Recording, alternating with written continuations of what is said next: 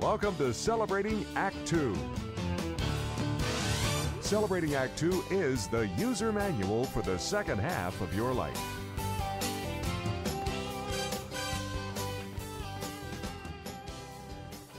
Welcome back. Um, John and I are here with one of our favorite contributors, Michele Fabrega. And uh, how you doing, Michele? I'm good. How are you doing, Art? How are you doing, John? Uh, good. I, I always love it when we get together. You have such great topics for us. Um, and, and I think they're universally important because what's more important than love and relationships in people's lives, really? What do you have for us today? Yeah. So today I want to get into something that I think is pretty juicy, actually. So, you know, one of the issues I, I hear people talk about is our bodies don't respond to lovemaking the way they used to. And what's possible for us? Good, good topic. Wait, is this Uh, one of the topics that we have to say, uh, have the uh, children, even your adult children, leave the room? Possibly. Possibly. Yeah. I think we're probably talking We're not going to get too people who live graphic, there. though. Yeah. Okay. So what, what do you say to that? Uh, what, our bodies don't respond. I, you know, it could be, happen at any age, I guess, but it sounds to me like a, an older couple.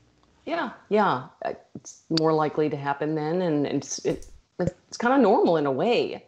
So I want to first just normalize it really, and and also to answer the question, what's possible? So much is possible, um, and so I'm delighted to to get into this because I feel like a lot of us tend to focus too closely on like just our genitals and genital sex, but there's so much more to enjoy in our bodies sensually. So Now, wait a minute, wait a minute, wait a minute. What's wrong with genital sex? nothing wrong with It's my favorite. Yeah, well, that is great. And so, but when the question being, you know, if I'm not, if my body's not responding, then what? Do I just say, oh, well, that's it? You know, it's like, no, many things are possible. Yeah. So, yeah, one of the things I, I first want to say is that just to, you know, notice once again and, um, and, and accept and allow what is because there are changes sometimes. And, um, you know, it's not what we choose, right? And there can be some sort of sadness and grief around that. And it's okay. Like, it's just to, to be with that and notice that. And it is it. We're talking about a physical change, really, or or do you think it's a mental change that our bodies Well, don't respond? it, it, yeah i mean in particular i was thinking about physical things obviously you know you might want to see a, a doctor around you know whatever issues are going on for you medically and there might be some support there there's dr liz on some of your other videos to help with that around hormones and things. But but just to remember that our bodies really have this amazing capacity to bring us joy and pleasure. And um, it's important to accept where we are and notice you know what might be getting in the way. And some of those things can be our own thoughts and judgments about our bodies, the way they look, the way they don't respond as quickly as they used to, or um, or those kinds of things. Because I think it's um, they get in the way of our, you know, how we're going to respond, how we're going to relax and enjoy ourselves if we're judging our bodies. Yeah, it it seems to me that uh, this question is is uh, our bodies don't respond. At first, my reaction was, um, well, that's a physical problem, but it's it really leads to an intimacy problem because sex. sex and, al- so and also and also um, the person who's posing the question who's dealing with this this may be something that's only on their side and not on their partner's side. Their partner may uh, still be responding and, and eventually it may affect their relationship but it may just be them and you have strategies for people to uh, uh, to work with that even if you're only speaking to one of the parties. Is that not correct That's right. Yeah, that's right. And the most important thing is really bringing in, you know, kindness, curiosity with compassion, non-judgment, and just acceptance. And also like sharing what you want to be doing together and what you'd like to be feeling with each other.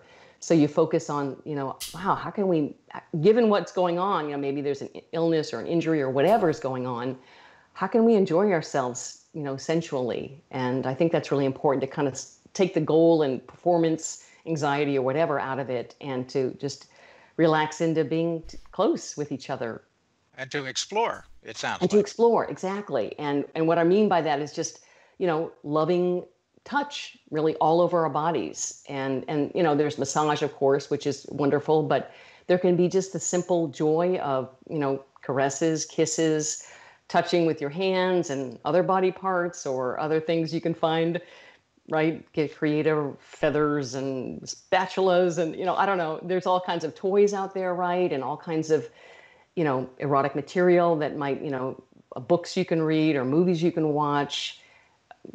Yeah and um, but really it's important to kind of enjoy what is available to you right now and and, and explore because maybe some of these things are like well that's not what I would have ever done before, or I don't think I feel comfortable with that. It's like, okay, well, it might be a little uncomfortable, but sometimes it's um, we can take a little step towards something a little different.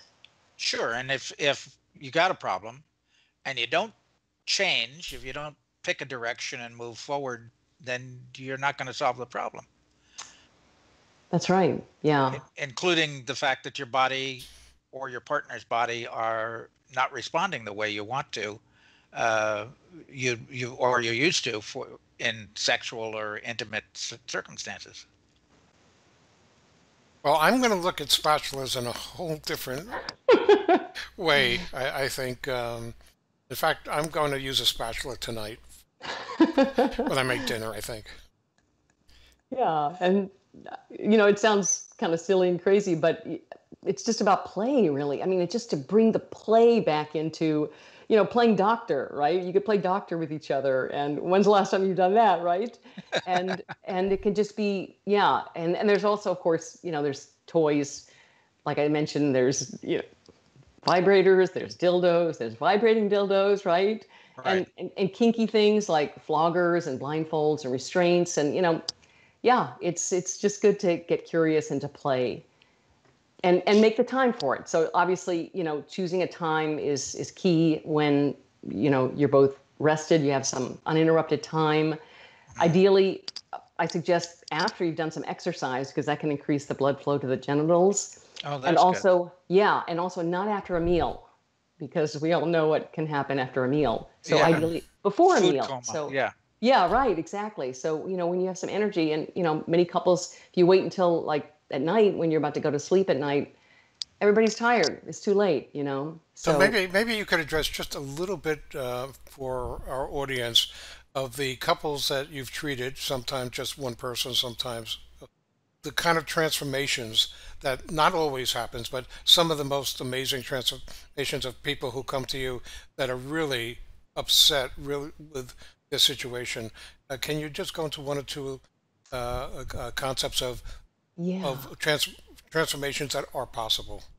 Yeah, absolutely. Yeah. I mean, I think it's, um, I mean, I could even speak to myself around this, but something around along the way, you know, along the way, we lose touch literally with all of our bodies, like the skin, the surfaces of our skin, behind our knees, but, you know, behind our neck, um, different areas of the body that just enjoy light, gentle touch. And so the feeling of this can be so pleasurable and so enlivening and you know maybe we get aroused. That's great. Maybe we don't get aroused. That's great too. But we can still be enjoying this feeling and it just it, it's such a way to be in the present. It can reduce stress. It can be relaxing and playful. And i, I really encourage people to t- take turns with it too like have one person just be the receiver and their only job is to just relax and sort of drink in the experience. It's a whole new playground really and um, adventureland to, to be explored. And it, it can be extremely joyful and satisfying. Explore our sexuality, experiment. I love it. yeah play. Excellent. Yeah. Good advice. Well, thank you again for just another great uh, session of, of, of, of revealing things that a lot of people just don't want to talk about a lot. And I'm sure that this is going to be very um, useful to some people. And if uh, uh, they want to get in touch with you directly, how can they go ahead and do that? yeah yeah so i can be reached uh, my website is michelefabrega.com and love to explore and talk with someone about what they'd like to be experiencing and how they might bring that up with their partner or um, it, it's it's tricky. You know, it's tricky. We don't always have the language or the comfort talking about sexuality. Yeah, I love uh, Michele. I love your your uh, slogan. Uh, if you could have the relationship you desire, uh, and that's what you help people find. That's great. Thank you for another great uh, session. We're in a session. Thank you. Yeah, great to be here with you both.